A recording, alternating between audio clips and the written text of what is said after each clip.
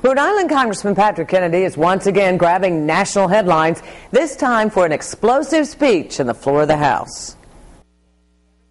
We're talking about war and peace, $3 billion, a thousand lives, and no press.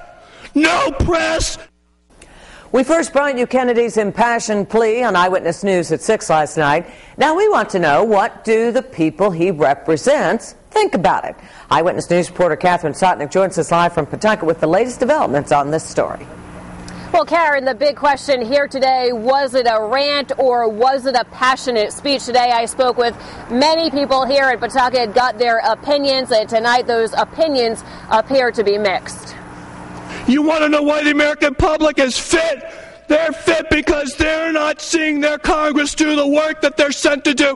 It's because the press, the press of the United States is not covering the most significant issue of national importance, and that's the laying of lives down in the nation for the service of our country is despicable. Shouting, waving, and pointing his arms, Representative Patrick Kennedy ripped the national news media on the House floor for their coverage of the war in Afghanistan. So we wanted to know was it over the top? We went to the streets of Pawtucket, the area that Kennedy represents, to find out, and here's what people had to say. I think he's a sick. He's a sick guy.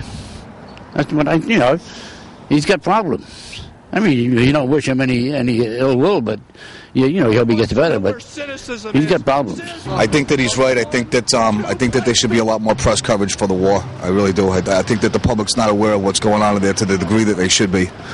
Uh, being a combat vet myself, I just think that um, I think he's right. Do you think it was effective? No. Why? Because I don't think anybody really takes him seriously, especially since he's leaving the office. And is he really leaving office? Today, a Washington Post report quotes the congressman as saying, quote, I consider it taking a sabbatical. It goes on to say that he will transfer roughly $500,000 in campaign funds to an interest bearing account, which he says he may tap if he chooses to run for the Senate someday. So I guess only time will tell. Reporting live tonight from the Blackstone Valley Mobile Newsroom from Pawtucket, I'm Catherine Sotnick, Eyewitness News.